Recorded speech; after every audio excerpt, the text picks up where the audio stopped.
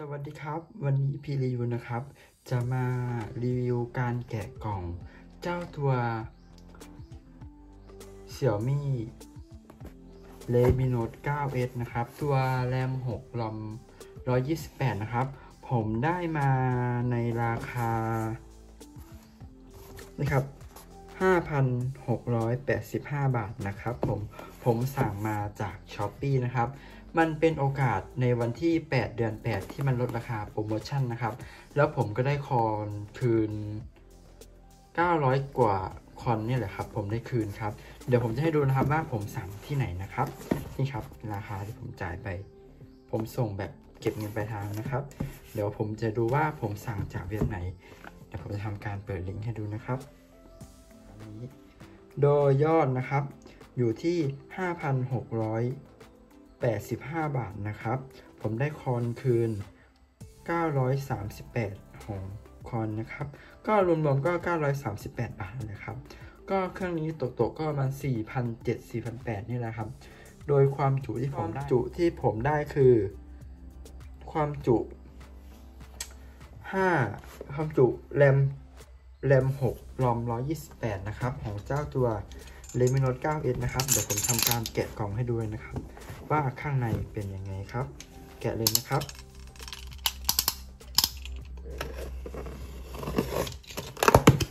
ครับ แกะพร้อมๆกันเลย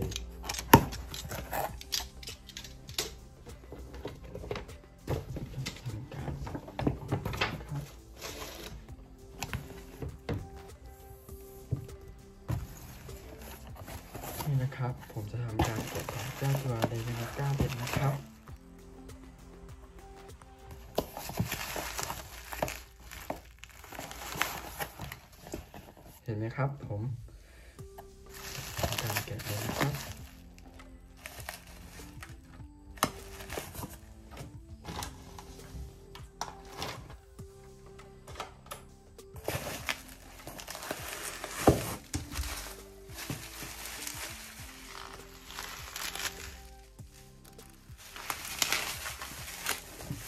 นี่ครับผมได้มา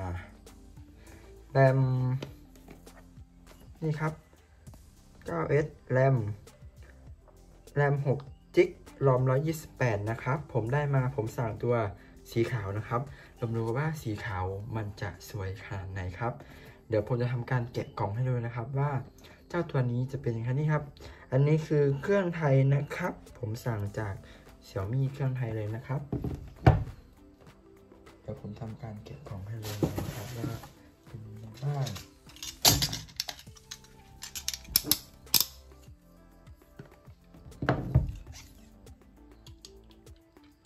ผมสั่งเมื่อวันที่ 8 สิงหานี่แหละครับ ที่ผ่านมา ผมเคยใช้แต่ตัวรอม 64 แรม 4 จิกนะครับ ก็ลื่นดีอยู่นะครับ เราทำการแกะดูนะครับว่าจะเป็นไงกันบ้างครับนี่นะครับ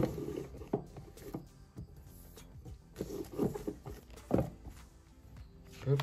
ข้างในนะครับของเจ้าตัวสีขาว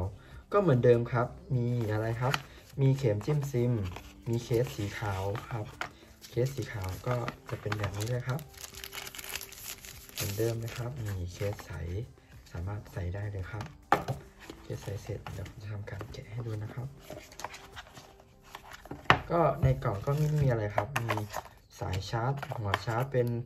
ฟาสชาร์จนะครับ อยู่ที่ 25 22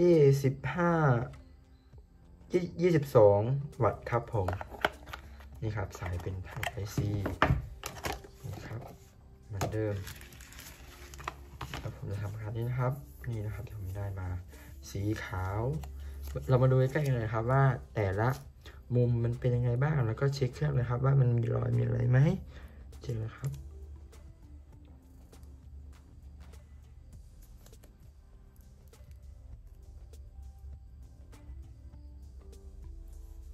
เรามาทำการเช็คครับ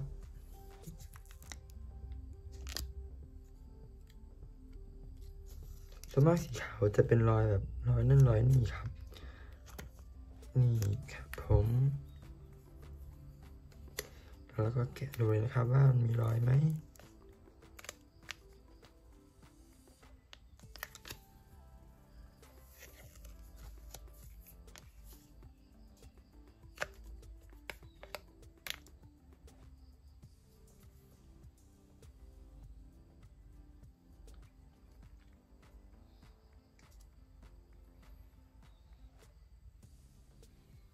ครับ บางทีมันก็จะมีดำๆอยู่ครับ เพราะว่ามันมามันมาจากรอยที่ว่ารอยแบบรอยรอยเหมือนรอยเทปรอยอะไรเฉยครับ เราเราเอาน้ำสำลีเช็ดเช็ดมันก็ออกแล้วครับ นี่ครับ ไม่มีแล้วครับเห็นไหมครับ รอยเริ่มไม่มีแล้วครับ เดี๋ยวเราจะทำการเช็คตรงนี้นะครับ นี่ครับรอยก็ออกเห็นไหมเดี๋ยวทำการดูแต่ละมุมนะครับ อันนี้ตัวเลนส์กล้องครับ สวยครับ นี่เลยครับ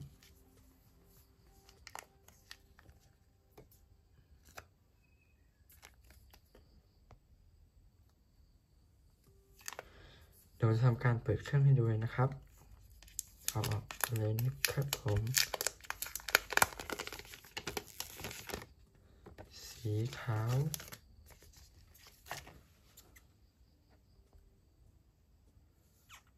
ทำการแกะตรงนี้แกะเอาได้เลยนะครับ ถ้าใครจะแกะไม่มีปัญหาครับแกะได้นี่ครับ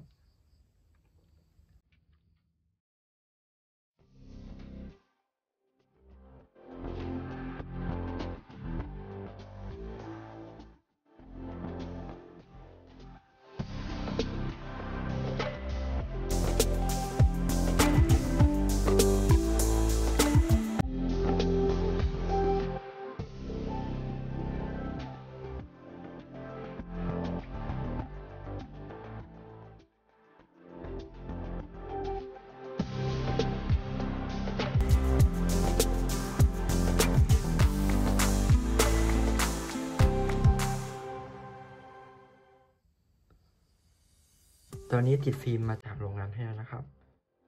นี่ครับ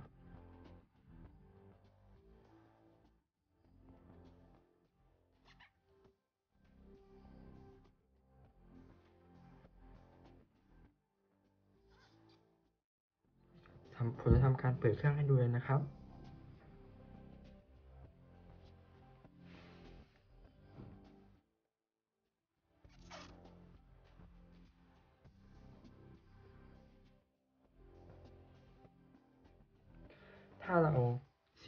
นะครับ ใส่เคสก็จะเป็นแบบนี้ครับ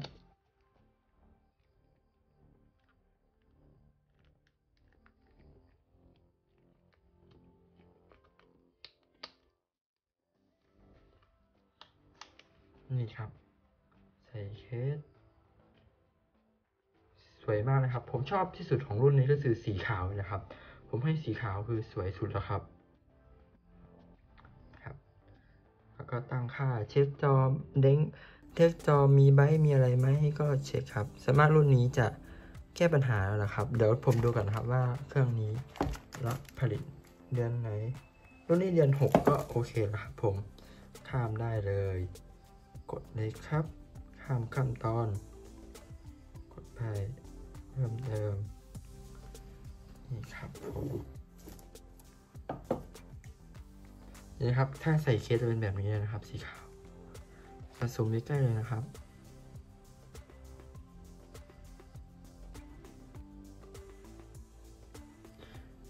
ตัวนี้ใช้ CPU Snapdragon 720G นะครับ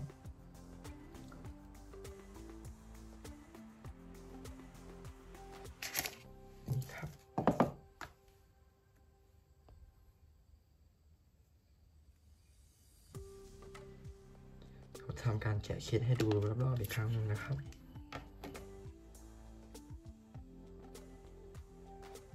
ถ้าถูกไฟก็จะเป็นแบบนี้ครับสวยมากครับ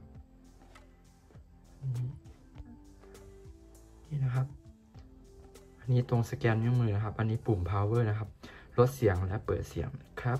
อันนี้รูไมโครโฟนนะครับ อันนี้อินฟราเรดไว้ควบคุมแอร์ควบคุมทีวีนะครับ อันนี้ที่ใส่ซิมนะครับ อันนี้รูชาร์จครับ อันนี้รูหูฟัง 3.5 ครับ นี่ครับ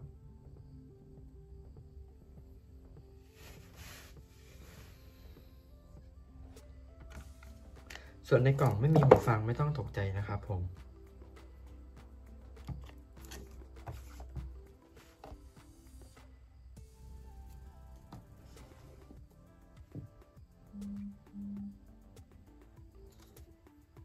รียบร้อยนะครับ นี่